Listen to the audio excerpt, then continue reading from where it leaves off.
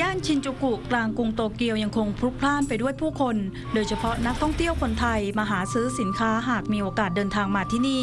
ไม่ว่าสถานการณ์เศรษฐกิจไทยจะเป็นอย่างไร คนไทยจำนวนมากยังคงหลั่งไหลท่องเที่ยวที่ประเทศญี่ปุ่น ส่วนหนึ่งมาจากความสะดวกในการเดินทางเข้าประเทศโดยไม่ต้องทำวีซ่า เนื่องจากรัฐบาลญี่ปุ่นออกมาตรการส่งเสริมการท่องเที่ยว เพื่อหารายได้เข้าประเทศ ผู้จัดการบริษัทนำเที่ยวญี่ปุ่นเล่าว่าที่ผ่านมาการทำทัวร์ญี่ปุ่นได้รับผลกระทบน้อย เพราะสะดวกไม่ต้องทำวีซ่า และไม่ว่าค่าเงินเยนจะอ่อนหรือแข็งค่า ไม่มีผลกับการตัดสินใจเดินทางมาของคนไทย ยกเว้นในช่วงก่อนเปิดเทอม จะมีคนไทยเดินทางมาน้อยลง ที่ผ่านมาบริษัทนำเที่ยวไม่ต้องลดราคาจูงใจ หากเงินเยนแข็งค่าเทียบเงินบาทแต่บริษัทนำเที่ยวจะใช้วิธีแถมในแพ็กเกจท่องเที่ยวให้ เช่นเพิ่มค่าอาหาร หรือของขวัญให้ลูกค้า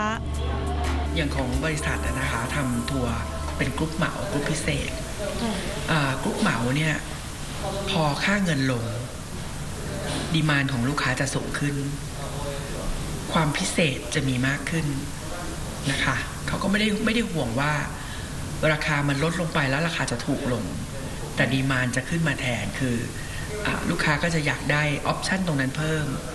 เสริมตรงนั้นเสริมตรงนี้มีหลายเรื่องเลยค่ะ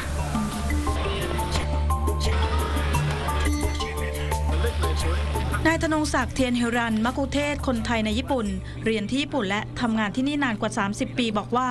สภาพเศรษฐกิจในญี่ปุ่นยังย่ำแย่ เพราะคนญี่ปุ่นไม่ใช้จ่าย ส่วนใหญ่มีเงินและเป็นคนรวยทำให้รัฐบาลต้องขึ้นภาษีมูลค่าเพิ่ม จากร้อยละ5เป็นร้อยละ8เพื่อต้องการดึงเงินจากคนรวยมาพัฒนาประเทศ ส่วนนักท่องเที่ยวต่างชาติจะไม่คิดภาษีในการซื้อสินค้า ร้านค้าในญี่ปุ่นส่วนใหญ่จะ free tax อัตโนมัติ หรือ refund tax คืนได้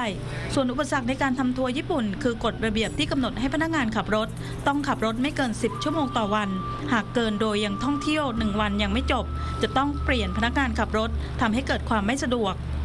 ในในส่วนตรงนี้นะครับเขาก็มาอำนวยความสะดวกให้กับนักท่องเที่ยวนะครับ มีหลายร้านนะครับหลายหลายร้านเลยที่เขาเดี๋ยวนี้เปลี่ยนเป็น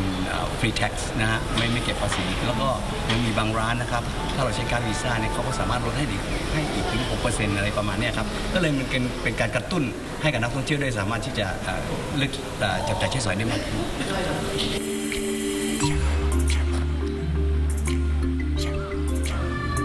สุดกระทรวงการคลังญี่ปุ่นระบุ การอ่อนค่าของเงินเยน ช่วยดึงดูดให้นักท่องเที่ยวต่างชาติเดินทางเข้ามา